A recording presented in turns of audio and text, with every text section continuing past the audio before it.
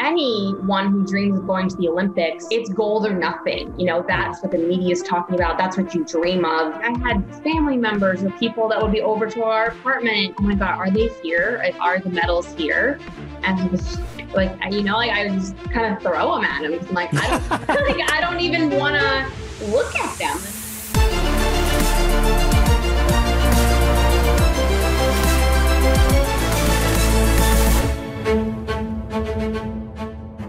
As an Olympian, as a professional athlete, as someone who it seems like you've dedicated your entire childhood and your entire teen years and your entire 20s to a single sport, a single thing of getting a gold medal and then not to achieve it, oh my goodness.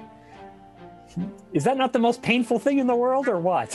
um, yes, it's very painful. I, you know, I think for the longest time, I viewed it just like that, right? Like I viewed like I've done all this, I've poured all in this, and the gold medal is the only thing that matters. And I had this tunnel vision and forgot all the other accomplishments, the world records, uh, the skill sets I, you know, was able to pick up through all those years of hard work and suck and, you know, ups and downs. And, uh, you know, I think that's been the real win of understanding those things. And yeah. if I just looked at it in the way that you just said that, I would still be, you know, in bed underneath the sheets and, and not wanting to keep going. But um, there's just so much more to it than that. And I think it's really allowed me to speak to and relate to so many people because so many people have that happened. And it's like, yeah. okay, then what? What's next? I don't think, you know, what, what I found really like, I, I,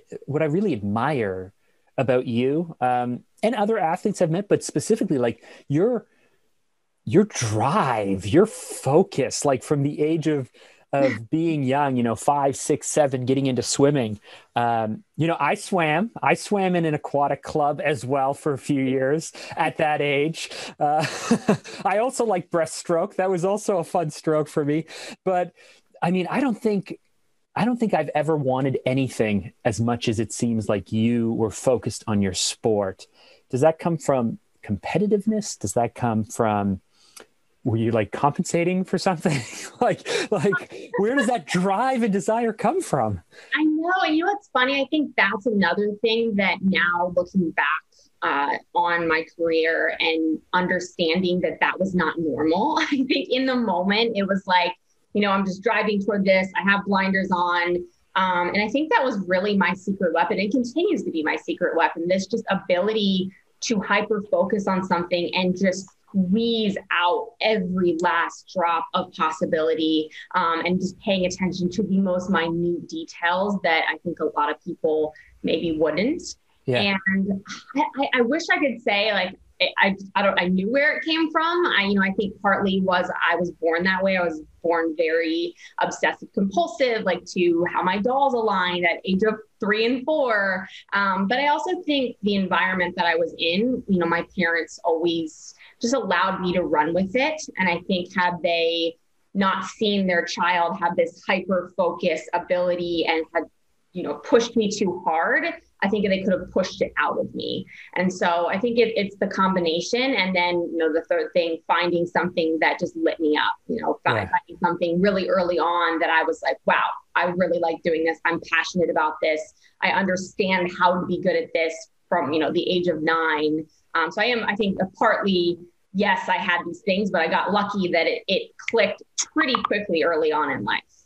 Yeah, and so for anyone who doesn't, who isn't familiar with your story, um, I mean, you were you were like really like from a swimming point of view you were swimming and breaking state records and then you were just working so quickly through the sport at the age of like 15 you're you're doing i don't even know all the terms. Like there's just there's just so many things that you were doing that were so amazing. Like you yeah. were very very young to yeah. be as as far along as you were even in the world of swimming. I mean it's like it's remarkable. Where was that i mean it was obviously hard work because i heard about your schedule and your routine and its coaching and its nutrition and its focus and its drive and its desire but it's it's got to be more than just that no for sure. I, you know, and I think, yeah, to, to make an Olympic team at, at 15, there was definitely some other things at play. And I think for me, it was just like the above and beyond stuff. Like everyone goes to practice every day, right? Like everyone shows up for the most part. Maybe there's a couple slackers out there, but but there are a lot of people that are good that do that. And I think for me, you know, from literally we'd be a half mile down the road and I realized that I forgot just 10 pull-ups, like just 10 pull-ups out of, you know, 50 that we were doing. And I made my mom turn the car around because I was like, I cannot leave this day without having it fully completed. Like I just would do, and that was a daily thing. But that was perf- was that perfectionism? Was that achievement? Was that like knowing like if I do this, I will get a better outcome? Like what was driving that? I think it was the thought of being behind the blocks before a big event and not being able to fully 150% confidently say I did every possible thing out there mm. to be prepared for this race and to be confident. And my confidence was always derived from action. Like it was, I was never someone that people would always say, know, just just just believe in yourself. Just you just got to throw it out there and be, you know, which there's a lot to positive affirmation. But for me, it was no, no, no. Like I need to look back on my body of work over the last year, over the last four years, and know, like anyone challenged me, I knew that that each day was exhausted even if the, the times weren't there, I the effort was without a doubt 150% in every bucket of my life. Hmm. That is so interesting because again, like I I would think that anyone who had that level, you know, like you you have that level of drive and desire and commitment mm-hmm. and you know what it takes. And then you were able to see um, you were able to get feedback. Like you just emotionally you were able to get momentum and progress and win. Um, and so you you were able to get on the olympic team and you were able to to face i mean i'll we'll flash forward really far right? You're able to get to the point where you know you are you are on the olympic team you're in beijing right? You have all of these shots to get that gold. But bef- before we get into that, why was what was it about the gold? Like because because you, you you place a lot of importance all of those years in like being at the top of the podium, getting that gold, being that champion. Uh, I spoke to um, you know I, I, spoke to Sonia um, uh, Wick, first podcast episode ever. She really wanted to to win the uh, the Kona, right, the Ironman Kona in her age group, and she came in second and i said oh that must have been devastating. And she was like no no it was great because i still did the very best i could. And i was like oh okay like you we'll didn't differing opinions on that like like i can just you know we only see not only do we only see as spectators a little sliver of time yeah. we see like i'm canadian so I get the chance to watch the Canadian uh, Olympic journey and the American Olympic journey. And my goodness, do they package your stories into this like road of like awesomeness and you're just like it's it's a spectacle to watch like Americans celebrate Americans. And and that's all on your shoulders. You're like a young woman. You're like you've worked all of these days. I mean it's just it almost seems too much to place on someone no yeah, it's actually funny. I to this day, I mean, that was what 13 years ago. Uh, I was I was watching the the Italy the soccer game, the Italy England game, which was crazy um, on Sunday, and some people were like, "Oh my gosh, like that kid, like that poor kid, like he's only 19, like so much pressure." And I was like, "Yeah, wait a second, like I was 19 and I was, you know what I mean? So at the time, I, I don't think, again, like I didn't have the perspective. It was just kind of like, okay, like this is just what's happening. It's all happening so fast. You know, these comparisons are being made to Michael Phelps uh, and me. And it's just like, it just, it, it was all this crazy snowball. And I think, you know, for, for anyone who dreams of going to the Olympics, I mean, and maybe this is a little bit of, of American culture of like, it's gold or nothing. You know, that's, yeah. that's what's out there. That's what the media is talking about. That's what you dream of. And, you know, obviously I I just didn't time it out the right way, right? Like I got gold in 05 and I got gold in 07 at the World Championships. And I just, I think for me, it was, it was less about, yes, there were expectations for me to win all these gold medals. But for me, that was kind of like on my bucket list of accomplishments to feel like I had the full trifecta of American record, world record, world championship gold medal, Olympic gold medal. Like that is kind of the full uh, circle in my mind of, yeah. accomplishing everything. And so to go and, you know, I did do my best, right? Like I, I, have to look back and say, I had, you know, I broke an American record in the 200 freestyle and it ended up being fourth. Like I didn't even medal in that event. So I can now look back and go, you know, I, I gave all my effort and I should be fully satisfied with that, or I should, but there, I think I say this in my book, like it's always going to sting. Like I'm never going to have someone say, you know, silver medalist and be like, you know, I'm always going to have that. I've, I've think- heard, I've heard you say that. And it's just like, so, so here's here's the question I have. Do you think yeah. you can be as determined as you were, as young as you were, see the success that you saw, put the time in, put the dedication in? Could you have those things without having that like laser focus on the gold, gold, gold, gold, gold. Um, do you think those are pairs that just kind of come together?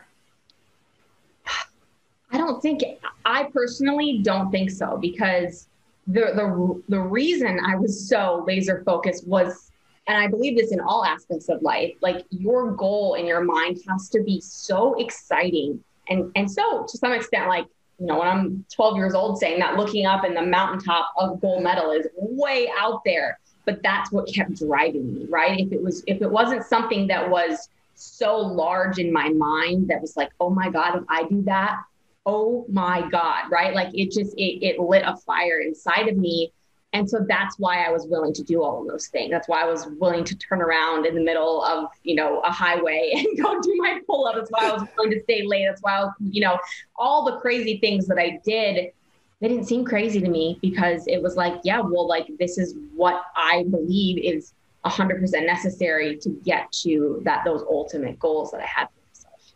Yeah. See, I'm uh, part of part of the secret reason I do this podcast is I'm so inspired and interested to hear people's stories and what they've done and and you know, I just I I almost wish that I wanted something as bad as it seems like you want it. Um, I'm not naturally that competitive. Um, it's like if I think I can do it, great. If I don't think I can, okay. You know, it's just like, um, did you? Because like okay i'm guessing i don't know a lot about you but you have this super successful podcast. Like that that's an extraordinary goal. Like that's something that drives but, right but right before we started recording i was like oh i'm a little nervous because i want to make the most of it. And and and the you truth is I'm like freaking out before all my races? The same thing. It's the same thing. Well and so so so you know that that idea of the one shot right? You know. Um, I'm trying to think. I'm trying to think what I was. Oh, I was watching. I was watching the Netflix show Cheer. I don't know. Have you Have you watched the the? Yeah. Yeah. Have you seen that? Mm-hmm. I I like was riveted. I loved it. But the thought of, um, you know, these these these athletes not in the spotlight, um, in a career where there's no way to graduate, there's nothing to move into. You have your like, you have your whatever it is, one and a half minute routine once through the year and that is your shot. I was like what? Like like it seems crazy to me. And then as i'm working through your stories i'm working through your book i'm like this is the same thing right? Like yeah. you're working working working. Yeah if your age and if everything lines up the olympics come every four years. Um, you know certainly there's there's uh, like national events and world events and other things but I mean, to the outside, that doesn't seem as important. I mean, to, to the athletes, are is it as important as an Olympic game? No, I mean it's definitely it's definitely you know the Pan your... the Pan Am games or like the the the Commonwealth games and like all these other things like they're not the Olympics, right? They're not the pinnacle. No, I mean in terms of like your professional career, um, like I would say World Championships is definitely seen, and and I think it's getting more notoriety. But no, it it certainly doesn't. Uh, Olympic medalists and World Championship medalists do not have the same type of weight and clout and and all of those things. Um, so yeah, it, it is every four years, and it, it's it's funny because I a lot of times I get the question of, oh my god, like how do you how do you reset? Like after after I was you know in 04, it's like seemed like four long years, but like I think that's again like the going back to like the little wins and the, the daily details like that's what kept me sane like that's what mm-hmm. kept me not looking ahead and being like oh my god like four years of just toil like how you know that it wasn't like that. It was like all right so today here's my goal in practice down to the hundredth of a second. Here's what i'm doing. If i can check the box on this day amazing next day. You know like it, it just kind of was worked that way for me and that's how i was able to stay stay so motivated for so long because i kept feeling like each win led to another win led to another and the momentum just kept moving me forward regardless of you know if i had tough days or or days where i was you know maybe struggling with the motivation it was close enough that it kept pushing me along. Um, but I, I, I just going back to your point about this this pinnacle and this you know one shot like that's also kind of why you do it. Like you're an adrenaline junkie. Like is, is that what it is? Like you're just like I, addicted to the, the the the chance the shot that you have I think I'm, and even to this day, like my husband will, will get mad at me because you know I'm I'm not like a not hot too high, not too low type of person. I wish I was like just steady as she like no, like I'm either I'm boom and boom and boom. Like you know I crave the the high and you know, I don't know. In this book, I, I should do a word search. I don't know how many times you mentioned crying, but I was like, I was like, wow, like awesome. Like, I'm glad that you lay it all out there. Ah, uh, no, I just and and I so someone has said that to me before, like, well, well, if you just don't get your hopes up too high or don't, you know, then you won't have this crazy down, right? Because of course there's times where I've shot really high and have my expectations just all super hyper focused. And then, right, it, then it doesn't happen. And then you just have this super long fall down because you're so high. But I've always been like, but but then the high, like when it does happen, I'd rather have, you know, three insane highs in my life and maybe, you know, quadruple as many lows than just live in the middle. Like I just believe like the highs are so high. And I think a lot of times I have this theory that the people that maybe say like, oh, like I just couldn't do that. They just haven't gotten that hit, that high yet from doing something crazy. And I think I just experienced that kind of hit of that extraordinary feeling that I was like, oh my God, like I just became a junkie. Like I was like, I need yeah. more of that. Give me more of that. And I just keep to this day, right? I'm just constantly chasing that feeling. And it there's good and bad, right? You, you have a lot more ups and downs, but I I can't help it. It's just do you do you think this is interesting? I just thought of this while you were speaking. You know, so many people are afraid to set really big goals because mm-hmm. what if I don't hit them? Or what if uh, I don't hit them. Like, what if I don't hit them and I told people and now I look like a liar or I look like a loser or I look like I couldn't do it? So, most people don't even set big goals. If they do set big goals kind of in their hearts, they certainly don't say them out loud. They don't really believe they can be hit. Um, and they just kind of want to live, they don't want to, but they just live life in mediocrity. You know, the word mediocrity, the opposite of extraordinary. Um, and it's just like, oh, it's so painful to watch.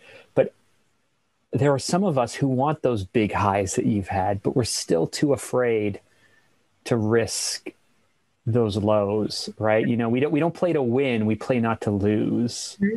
And if there's one thing I'd really admire in your story is um, you played to win. Like like even the way that you describe your races and the energy it takes and the difference between 50 meters and and you know and it's two and a half minutes of hell or it's eight minutes of this. And it's just like holy smokes like you you go for it. You really go for it. But for those who are too afraid to go for it or or they you know they want the high but they don't want to risk the low what do you say to those people? I think part of that fear also comes from thinking about it long term like if you can think of i think if someone was like given the choice of like well it's just going to be once but then after that you i mean you can't just do it one time in your life right? You got to keep you got to keep going. There's you know 50 years left. But it gets I, I would say go for it because after the one time, like the one fail that will inevitably happen, like it's just going to happen if you put it out there enough times, it gets way easier because you prove to yourself that you get back up, right? Like you have the people around you. And I think after my big moment like that was putting it on the line for Athens, making the Olympic team at 15, which was like this ultimate high, going, feeling like I throwing up all over the pool deck, feeling like I failed in front of millions of people at home. And that was my wow, I just literally failed in front of millions of people.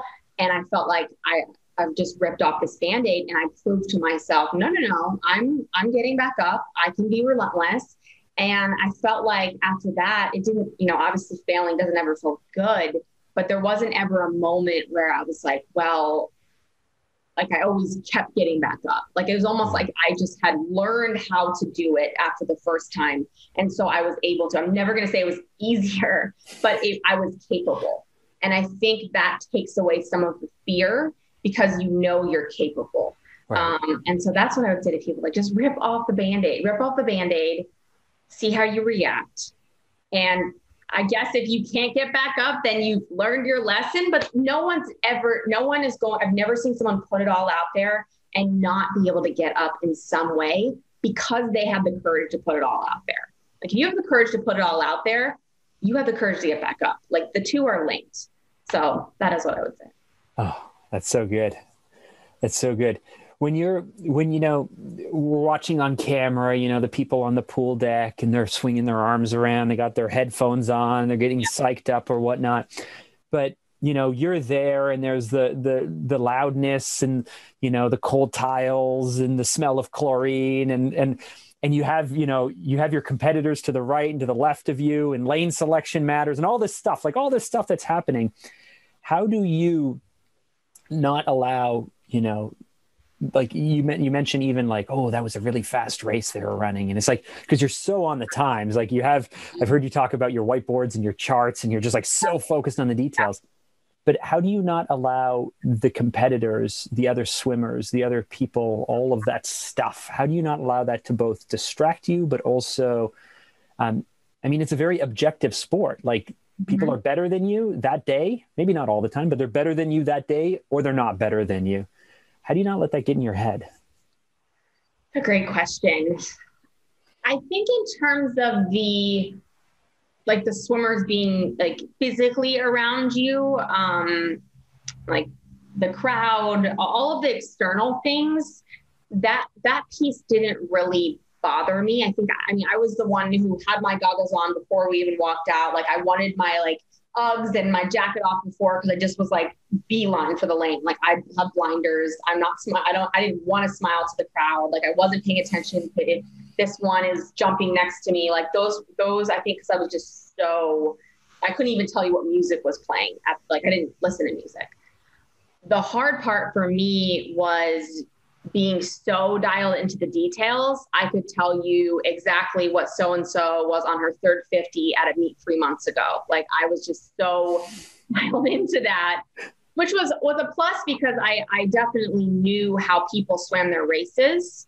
Uh, you know, typically, but when things went awry, like in the 400 free in Beijing, normally those two girls took it out super fast yeah.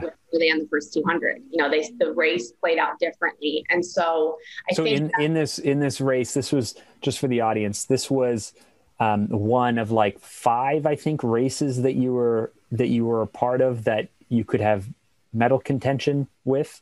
And yeah. and so and the way you describe it or i guess the way it happened is these races are like happening like over the course of a few days but there's all this other stuff happening as well. And so and so you were saying that you would normally uh, you would normally you know not be as out front as you were but halfway through the race or something you're like way out front because everyone else went super slow and it kind of confused you right yeah it was interesting because the strategy in the prelims, you know, the the girls that were ranked ahead of me, I went in ranked third to the finals, took it way out. And so my plan was typically, if you watch the race, even in the trials, I flip fourth at the 200 and then I back half it. And I didn't take the race out like an idiot or anything. I swam it the same way. It's just that everyone was way back. And so I remember consciously making a decision like, well, I don't want to use this, you know, energy to like pull myself back. You know, I'm, I, I should, I need to just go. We're at the 200 at this point. But there was that internal thing going on that honestly shouldn't have been happening. It should have just been like, okay, put your blinders on, focus on your, on your race and it just happened to be a, a, very weird type of play out in a race which happens sometimes when you put you know the top eight in the world together things shuffle like it's it's not that abnormal. Uh, but i think that was always my struggle in any of my longer races which is the races that would stress me out because there's so much strategy around it. Um, whether it was my 400 im where it took me what four years to be able to figure out internationally how to race that race and so that was, I think, really where I struggled and had to put blinders on um, when I when I won the race or or when I didn't. It, it's I think a lot of people struggle with stay in your lane. Like that yeah. comes from swimming, like stay in your lane in any aspect of life. Yeah. Now you, you you did mention that race. So there was the race where you know your first your first event you didn't you didn't win you won bronze the second event, you came to within seven one hundredths of a second to winning gold. So you won a silver. Mm-hmm. And and then the next race was uh, I think an 800, um, and it didn't go well. And and ultimately you were able to come out of the games winning two bronze medals and a silver medal. Um, and you were saying, you know, everyone was telling you, oh, you won these medals and this is great. Um, but deep down inside, you were disappointed. I don't think there's anything wrong with that disappointment. What I'm actually most curious about is why you felt you couldn't explain that you were disappointed with two bronzes and a silver what, when you really wanted that gold. Like, like it's interesting to me that it was only in your TED talk, I think you said in 2018, that you actually admitted that you were disappointed by not winning a gold, but by winning two bronzes and a silver. So that's a long time to feel like you can't say that out loud. Yeah, that's because no one's ever asked me that. Uh, I think the struggle was that, and to this day, I've had conversations with you know friends or old teammates. If you go in and say you're ranked seventh or eighth in the 400 IM, and you drop like two seconds off your best time, and you weren't even you were maybe on the outside shot of winning a medal, but you win silver. Like that is seen as a victory, right? Like that's seen as an amazing thing. And there are tons of athletes who come away with three medals, and that's celebrated and it, it's fantastic, right? And so I think because I went in with these expectations of coming away with, you know, kind of realistically, potentially three or four gold medals, that was the opposite for me and it wasn't just me saying that it was you know other other people saying that the media saying that and so to yes, the media saying it, but it was almost like I was straddling this weird thing of like I didn't want to admit into the negative things that the media were saying. Like I almost didn't want to agree with them. But on the other side, I didn't want to sound to others like, wow, I'm super ungrateful for winning these medals. And so I didn't really understand how to even explain how I felt in a way that I felt like would make sense and not offend people all at the same time when ultimately I probably shouldn't have cared. I probably should have just said, this is how I feel and, and that that's the case and and here's why. Um, but it, I think I think it happens a lot more in life and I'm very aware of it now of, you know, when someone accomplishes something that to someone else might be this mega accomplishment. Like say someone gets promoted, but in their they promoted to VP, but they're coming over from another another company where they were CEO. To someone else, being a you know VP at a company is like the most amazing accomplishment in their life. But to the CEO at the former company, they're like, well, that's a demotion. Yeah. And so I think that happens. I, I'm so hyper aware of it now to not do that to others. Like, well, she's at least she's got that. You know, like I think we're we're just as humans we do that. And yeah. so I felt like that happened a lot to me. Well, like at least you went to the Olympics. Well, at least you medaled. Like those were things that were being said. And so I felt like, oh, okay, well, maybe I can't say that without sounding ungrateful or sounding like I wasn't, you know, happy to be there and happy to have experienced it. But when I'm thinking here and I end here, for me and my barometer, it was a fail. Do you think? Do you think that's? Do you think that's different for male versus female athletes? Like, do you think a male athlete can walk away from that and just say, disappointed, not happy, this, you know, and and it's and it's actually different, or does it have nothing to do with gender? It just has to do with with the fact that you didn't want to make people feel bad. yeah, I mean, I feel like the I don't know. I, I don't know if it's more personality, but I obviously I think females are are definitely prone to be more people pleasers for sure.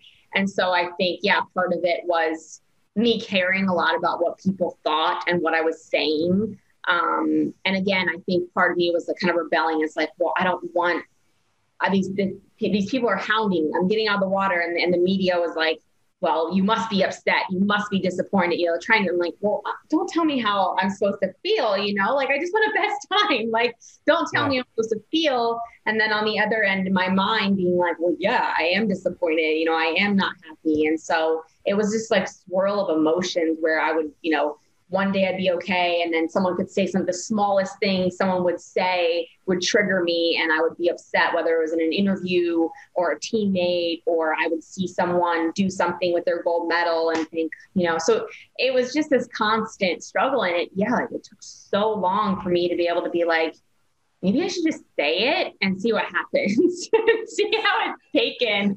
Um, and that's okay. Like I didn't want to come off as negative or any, you know, and then I finally did. And the reaction was so positive at, at the TED talk that it was just this freeing moment of, wow, like people can, you know, actually understand this experience and relate to it. And maybe this could be a positive, a negative, like a positive thing talking about this experience more. Yeah. Um, just had to bang my head against the wall like 50 times before I figured out it was okay to emote. Well, that's and that's why I found it I found it curious because I I can un, I can understand your point of view and maybe this is the time we're living in, you know, and people are feeling much more free than they were 15 years ago or whatever yeah. it may have been. But um, and certainly the, with with perspective as you're looking back, you're not so much in the media bubble or any of those types of things. But um, I just found it curious not that you were disappointed by not winning a gold, but but that yeah that you felt you couldn't even say that. I was like, oh, that seems like a double burden to not only have that.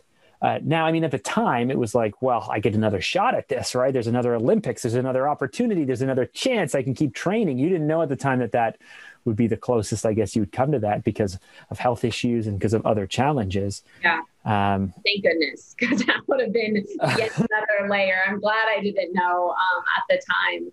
Um, but yeah, I mean, even even when people would want to seem like I had family members or people that would be over to our apartment, you know, years later, like, oh my god, are they here? Are the medals here?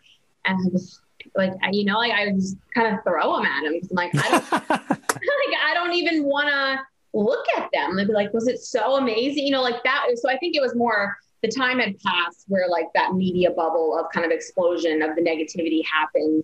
And then a few years went by, and then no one who had entered my life then really, really had been in that moment and seen that. And so they're like, oh my God, like, can I see them? Can I put them on? Can I take pictures with them? And I was just, I, you know, would I, my husband knew obviously, and he would just kind of watch me as I would just be like, yeah, here you go. Like, I have to explain them. And yeah, yeah. It, it, just, it wasn't, and, but in that moment, what am I supposed to be like? Yeah, I hate them, but like here, you know, it would it's, it's not a natural thing to do. It's more interesting though. It really makes for a better dinner party. I think if you could be like, here they are, take them out. I don't want to look at them anymore, you know.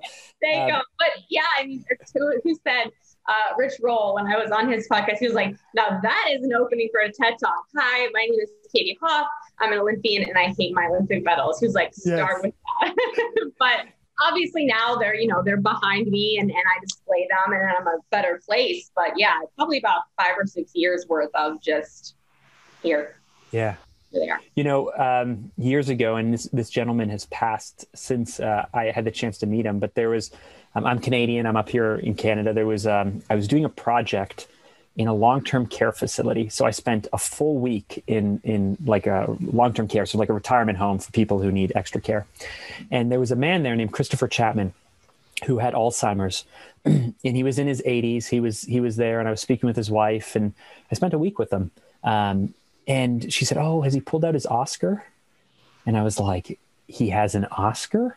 And she's like, "Yeah, yeah. He like uh, he likes to pull it out, and he likes to do photos, and he likes to bring it around. They do movie nights, and so there's a photo of me like standing with this amazing guy, like holding his Oscar, and I'm like, wow, it's heavy and it's cool. And I'm looking at this. It's like from 1967. He directed a short film. It um, it's famous up here because it created our provincial song that people like to say. And I was like, holding this Oscar and it's amazing. And I'm like, oh, that's so cool. And people are like, oh, that's an Oscar. And so, so like, people will be like, Olympic medals, cool. Like, I mean, I could see, I could see the draw.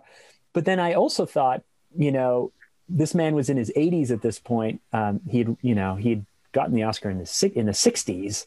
So like after 10 years, 20 years, 30, 40 years of it, it kind of has to become at a certain point either like something you just kind of embrace like people i think who are like people who are famous for being on a sitcom in the 80s who are no longer famous where they just they just embrace it and that's what it is or they they learn to like hate it i think mm-hmm. as as being stuck that way as you progressed from being a professional athlete being in the olympics being in that world to where you are today i know there was a lot of bumps and adjustments along the way but but how how do you not feel like you peaked too soon. Like because you, you, saw you, so much focus so much dedication so much success early on. Life is so long now.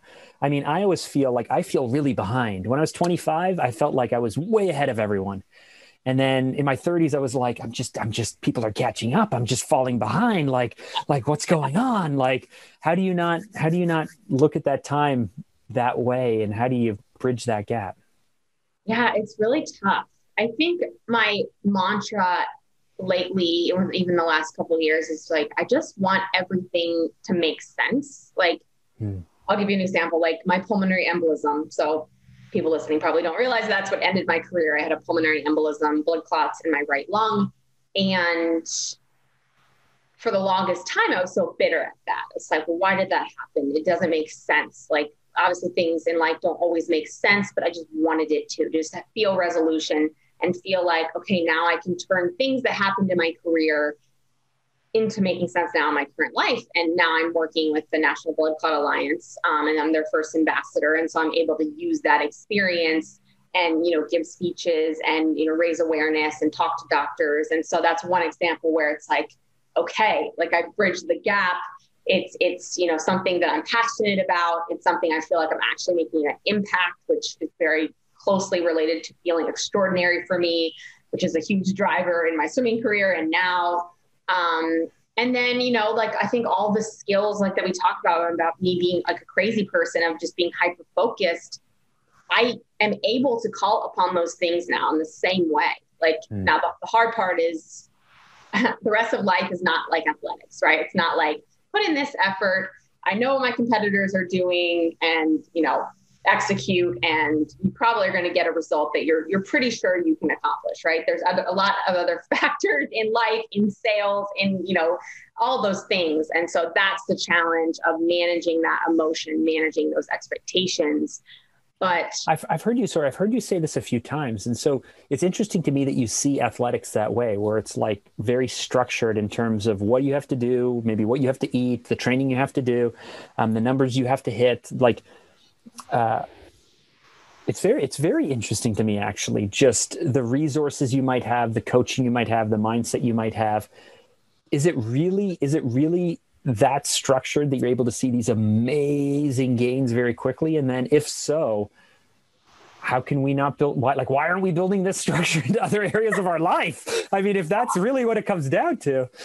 I mean, I think it's not like you're gaining, gaining, gaining, gaining, gaining, right? Like I think in terms of though understanding, okay, here's what I'm like. There wasn't ever a meet that I went into where I wasn't like, I'm either going to crush it or I don't think it's going to happen. Like, regardless of what my mentality or how positive I was being, you know, like you know because you're you're not blindly. Sw- I mean, I don't know how people do it, but like if they do, but like you're not blindly swimming workouts. You have your times, you have your paces. Like I was someone who paid attention to that for the sole reason of knowing if I'm progressing, right? So if training's not progressing and the times aren't there, then it's like, okay, like let's shift, let's pivot, let's try something new. And that definitely happened later on in my career. For sure where things weren't working and I was kind of searching and I don't know, I think I finally found at the end of my career again before the blood clots happened, but it is, it's just you have instant feedback of today was a good practice because XYZ and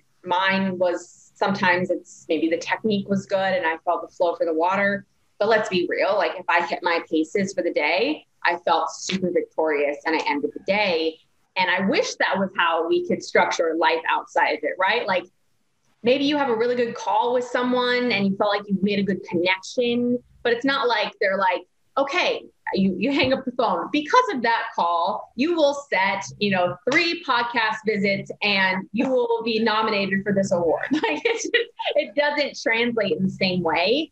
Um, and I think that's why I found life after swimming extremely frustrating. Because have you it, tried? I have. Oh, okay. okay. Yeah, I have. tried. But you're saying tried to to, to structure to structure everything in these in these nice boxes. Yeah, it's it doesn't work. It's really Mark. I have tried and I it doesn't work. Everything from yeah. It just doesn't have that same.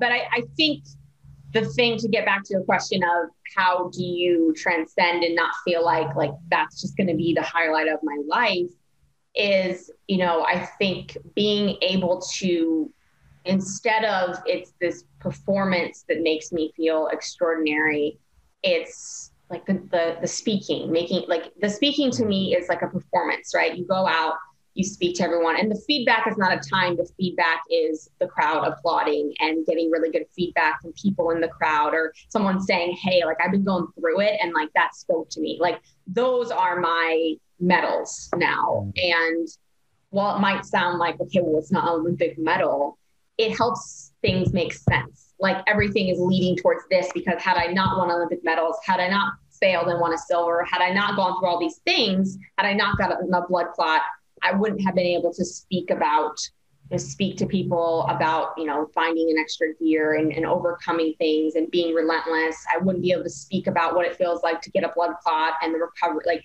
all those things kind of feel like it's just part of a culmination and not like a boom and now what?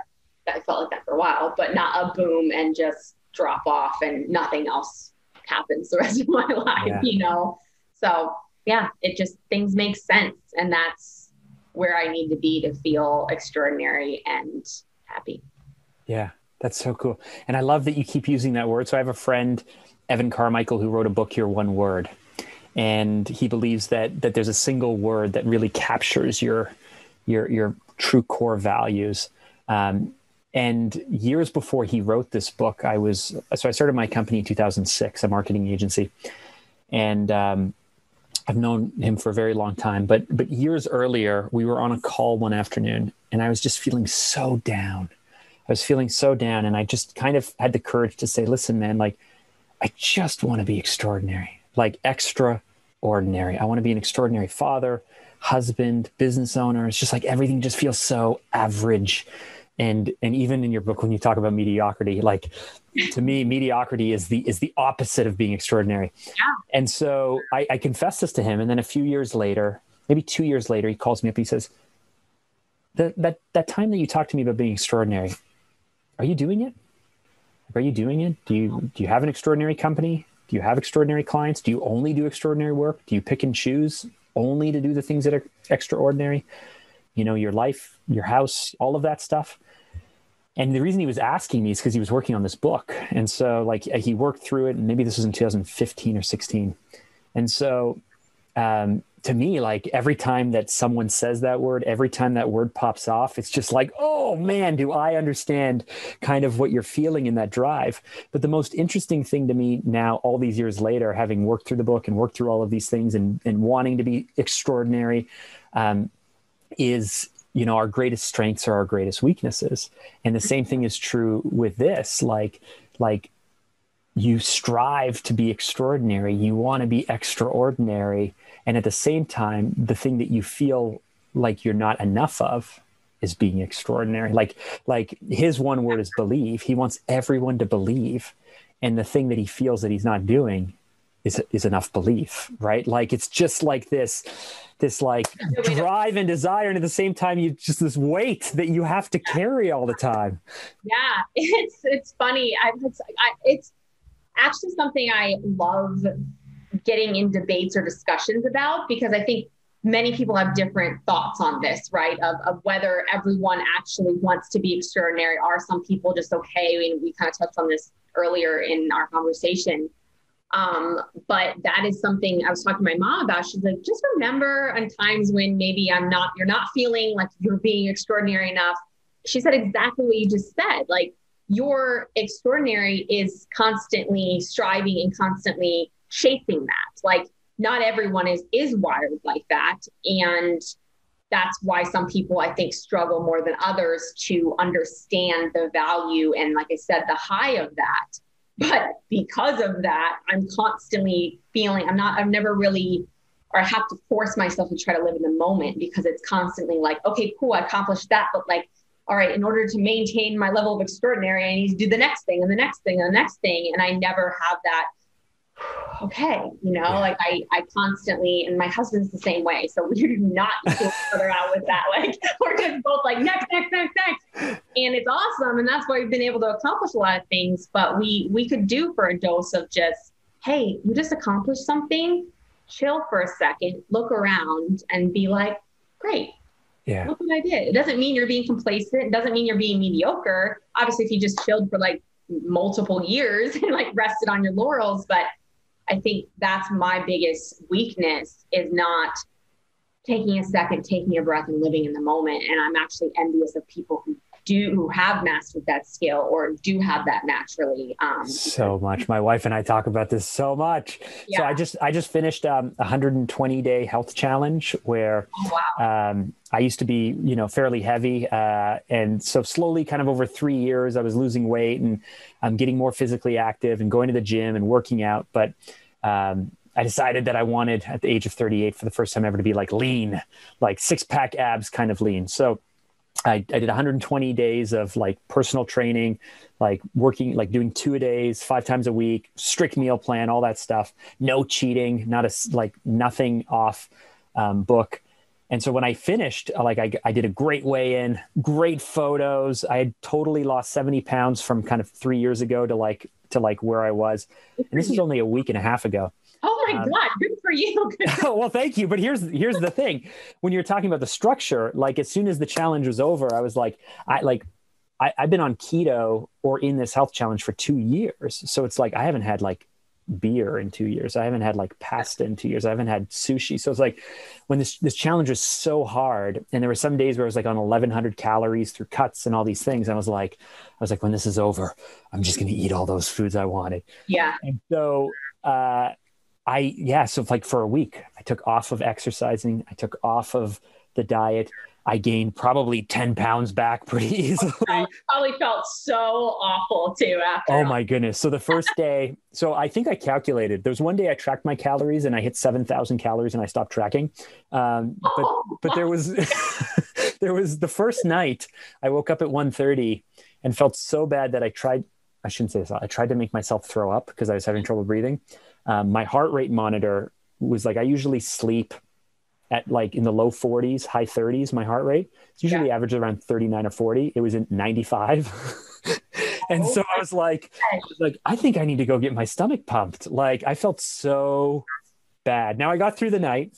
Um, but, but here, here was where I was going with this story. It's like um, a few days in to this binge, I almost forgot that I was capable of doing those really good things. Mm-hmm. Like like I, I so quickly slipped back into the old version of me. I felt so bad about myself.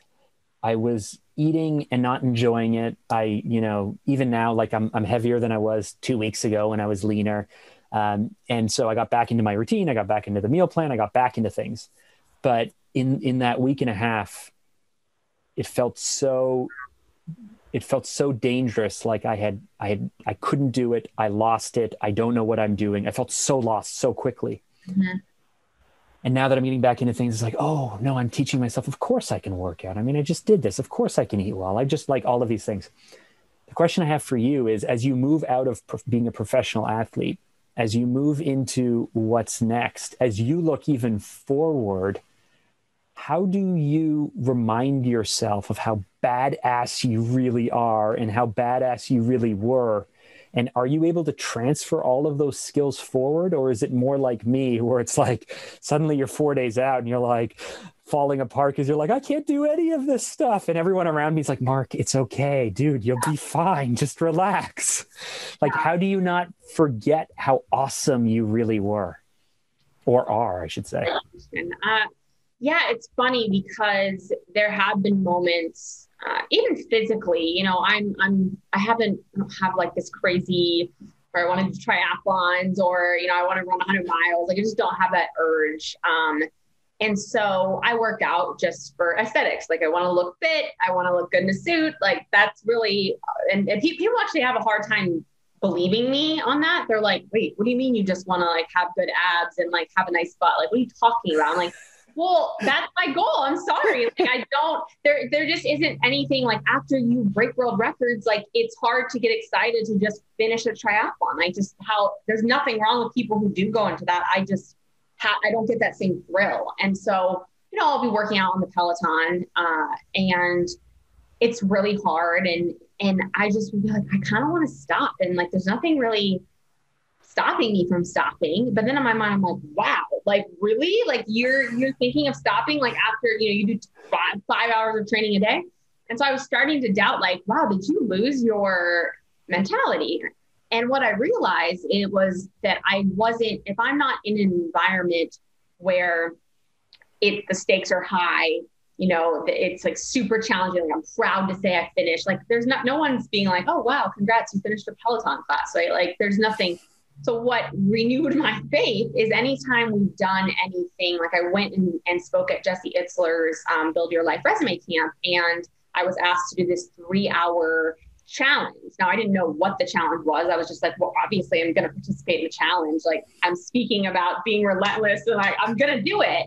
And it was, oh my gosh, one of the hardest things. It was like 10 miles of running, 10 stations of burpees.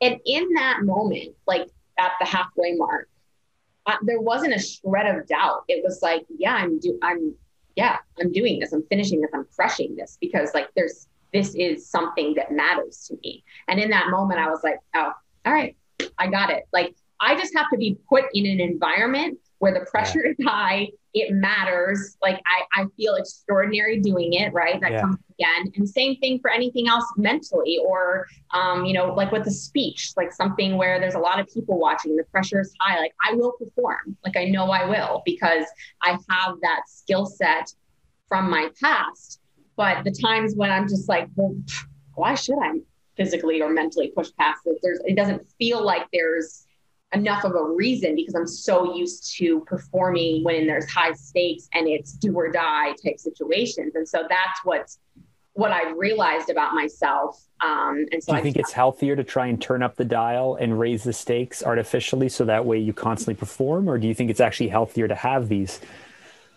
you know, slower periods in your life?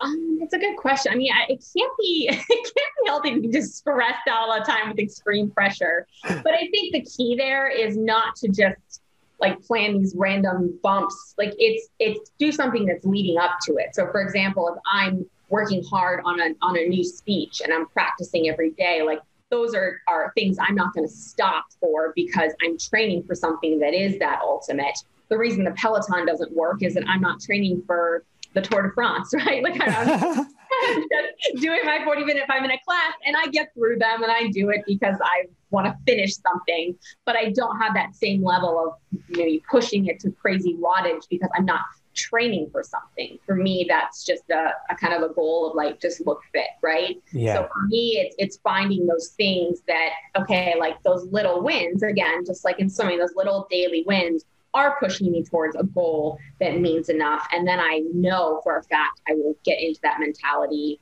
and follow things strictly and follow things to a T. Hmm. That's that's really, you know, one thing that I try to tell myself, and if I'm not, if I haven't said this to myself in a while, I I try to fix it. It's who does this? Like not in like a negative way like you're crazy but like if i can catch myself saying who does this? then i'm like ah okay. Now we're doing something interesting right? You know? Exactly. i love that.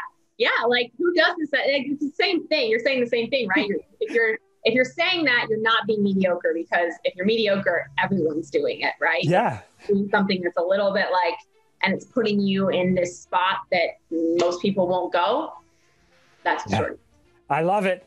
I love it. Uh, last question for you. Uh, I, this has been so much fun. Um, so typically, I like to end with this. For you, at the end of the day, everything that you've been through, everything that you've learned, all of the experiences you have, everything that's in front of you. But at the end of the day, what does it all come down to? It comes down to feeling like all of my buckets are filled up, meaning I have a really good relationship with my hu- my husband. We're in a really great spot. We're communicating well. We love each other in business, I feel like everything's going well there. I'm progressing. I'm continuing to learn. I'm never at you know just this stopping point. It's, it's I always feel like I have I need to get better, meaning I can get more skills within that. Um, and then you know just general my my health and my family's health. Everyone's good and everyone's happy and healthy. Um, and I would say those are probably my three biggest buckets. And if I feel like all of those are happening, um, then I can lay my head to rest and feel happy. That's so interesting because it's it's not any of the things that an achiever would be achieving for. It's all of the it's all of those things that most people say matter most, right?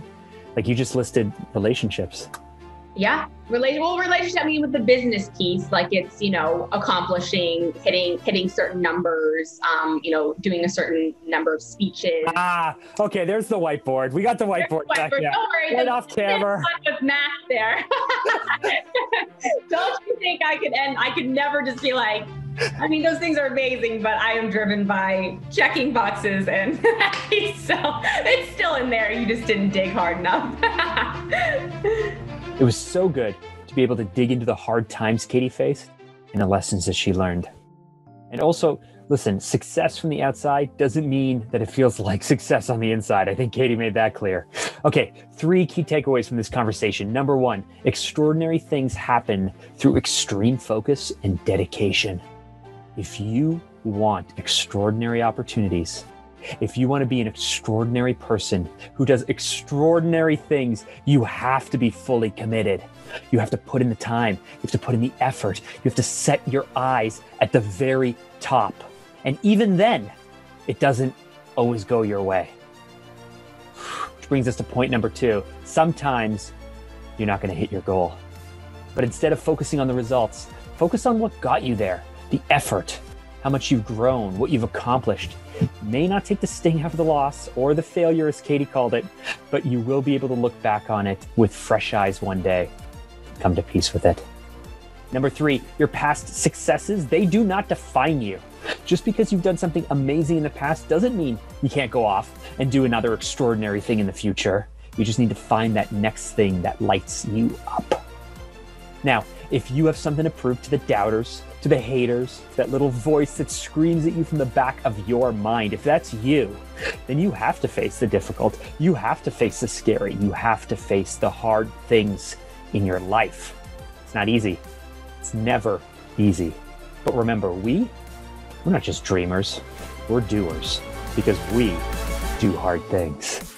If you need a shot of inspiration, you have got to hear the story of how this woman faced cancer and a divorce, and then went on to chase down her dream to be on television, which she did. Click on the video right over there to hear this real, inspiring conversation.